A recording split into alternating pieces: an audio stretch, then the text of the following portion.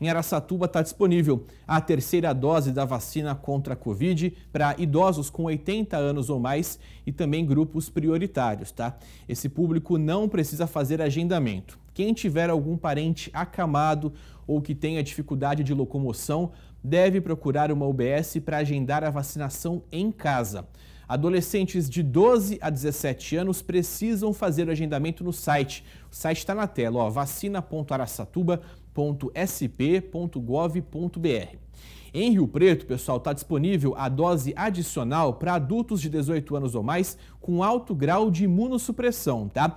Tem que levar um atestado médico para comprovar essa condição. Então, o médico vai avaliar se enquadra nesse, nessa, nessa, nesse pré-requisito e vai emitir o laudo para você.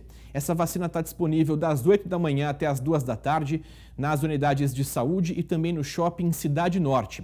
A terceira dose para idosos acima de 80 anos e a primeira para adolescentes entre 12 e 17 também continuam sendo aplicadas.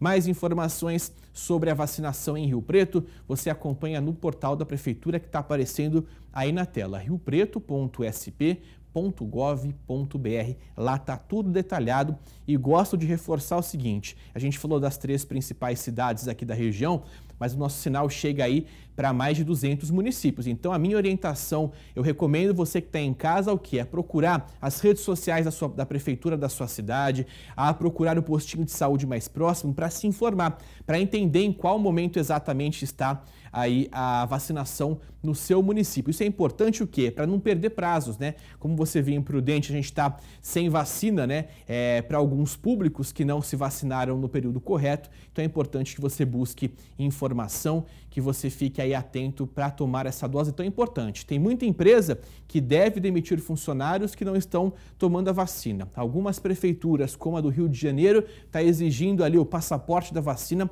para poder aí é, entrar em locais com grande aglomeração. Então, é uma questão de saúde pública, é uma questão comunitária para que todo mundo realmente é, esteja aí preparado, esteja imunizado para que a nossa vida volte ao normal aí. Afinal, está todo mundo já cansado, né, dessa pandemia que já passa de um ano e meio.